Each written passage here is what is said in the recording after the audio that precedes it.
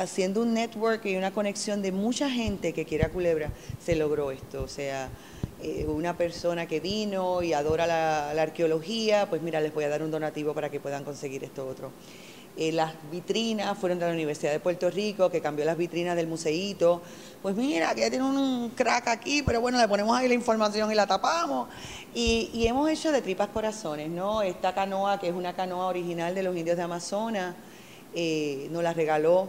Yo estaba buscando una canoa y llega un amigo de nosotros, Jack, que vive aquí, suizo, y me dice, mira, tengo un amigo alemán que tiene tu canoa. Y dice, que tiene mi canoa.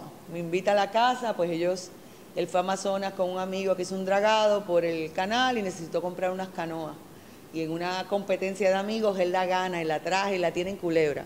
O sea, y llegó la canoa acá, él vino, hizo la base de la canoa.